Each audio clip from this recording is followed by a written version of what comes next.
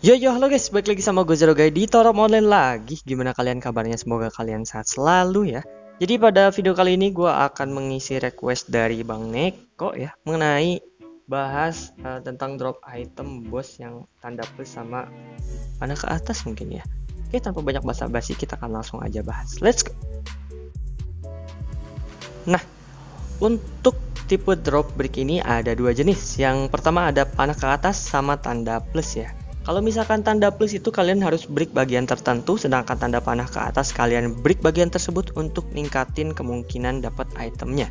Nah, jadi kalau misalkan kalian mau cari ADD Kerato di Mimyugon, kalian break kepalanya untuk uh, sebagai syarat dapetin ADD Kerato, tapi chance-nya nggak 100% ya. Kalian tetap harus nyari sampai dapat ADD Keratonya cuy. Sedangkan untuk dapetin armornya, kalian break badannya, untuk uh, ningkatin change dapetin armor tersebut. Gitu ya mungkin untuk tipe drop dropnya. And untuk cara break partnya gimana? Yang pertama kalian bisa interrupt. Interrupt tuh ada tiga ya. Bisa kalian stun tumble atau flinch tergantung bosnya bisa dikasih interrupt apa. Misalkan untuk Memugon eh, nggak uh, bisa di stun ya. Jadi kalian tumble sama flinch aja buat break bagian tertentu. And yang kedua adalah tap break di bagian tersebut. Misalkan uh, nanti akan muncul bagian break partnya ya. Nah, kalian bisa lihat di situ. Di kepala sama di badannya tinggal kalian tap-tap aja untuk user di HP dan arahin mouse uh, atau istilahnya hover ya untuk user PC cuy.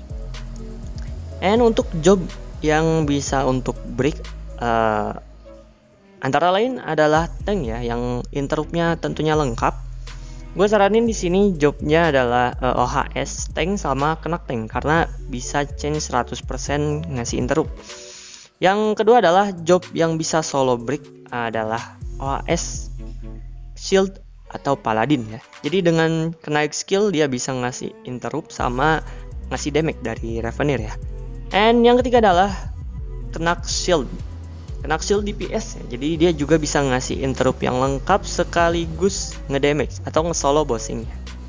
Dan gue kasih catatan tambahan di sini, mini boss itu nggak bisa di break partnya, jadi cuma boss aja ya. Dan durasi break sesuai dengan durasi interrupt. Semisal stun dengan durasi uh, interrupt terlama, uh, tumble dengan durasi menengah dan flinch untuk durasi sebentar. Jadi nanti bakal munculnya itu sesuai dengan durasi interrupt tersebut. Ya, mungkin segitu aja ya penjelasannya. Semoga mudah dipahami dan dimengerti.